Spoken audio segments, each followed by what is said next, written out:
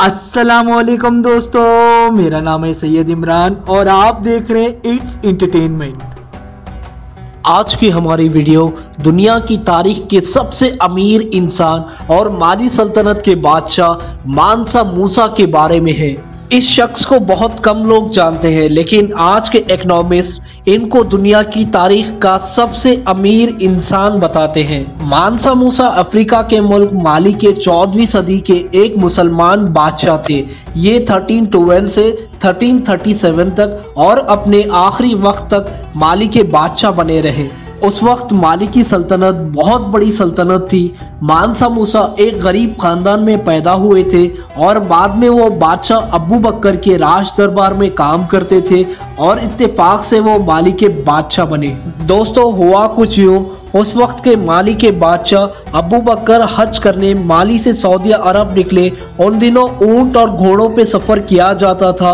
बादशाह अबू बकर ने जाते वक्त सल्तनत का इंतज़ाम मानसा मूसा के हवाले कर दिया, ताकि उनकी गैर मौजूदगी में मानसा मूसा माली की सल्तनत को चला सके। बादशाह अबू बकर हज करने के बाद पैसिफिक ओशन की तरफ़ एक इलाके को देखने के लिए निकल गए और फिर कभी वापस लौट कर नहीं आए।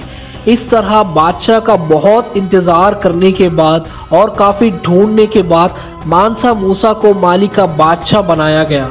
दोस्तों, मानसा का मतलब ही बादशाह होता है। इसलिए इनको मानसा मूसा कहा जाता है। मानसा मूसा को अरबिक बहुत अच्छी आती थी और इन्होंने 1324 में हज की शहादत भी हासिल की।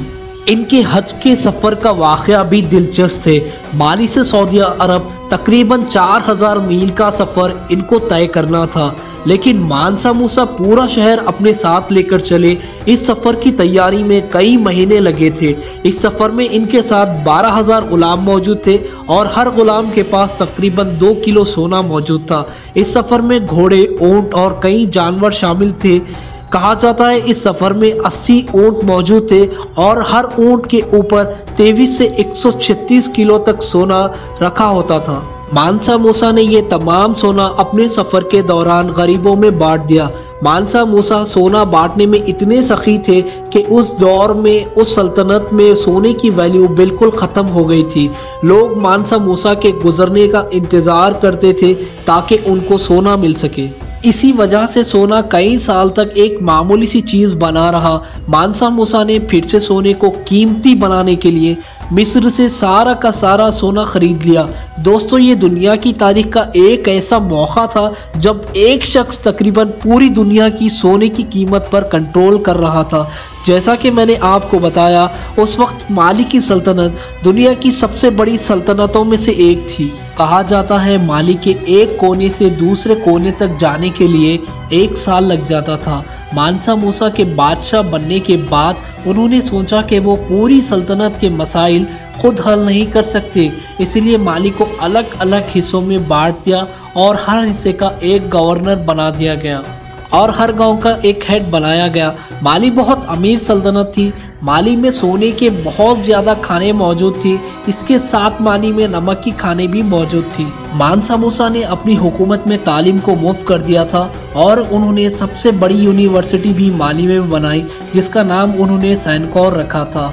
और लोग यहाँ दूर दूर से पढ़ने आया करते थे। कहा जाता है, मानसा मूसा हर जुम्मे के दिन एक मस्जिद तामीर करवाया करते थे। इन्होंने उस वक्त माली को पावरफुल रियासत बनाया था। मानसा मूसा जब अपने महल से निकला करते थे तो इनके साथ 300 सिपाही होते थे, जो इनकी हिफाजत किया करते थे।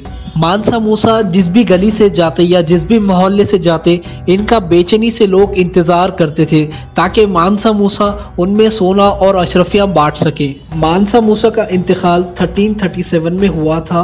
उस वक्त मानसा मूसा अपने बेटे को बादशाह बनाने की तैयारी कर रहे थे, लेकिन उससे पहले उनकी तबीयत ख़राब हो गई और तभी उनका इंतकाल हो गया। मानसा मूसा का नाम सिर्फ़ दुनिया के अमीर इंसानों में नहीं आता, बल्कि रहम दिल और सबसे ज़्यादा खैर खैरात करने और चैरिटी करने वाले इंसानों में भी आता है।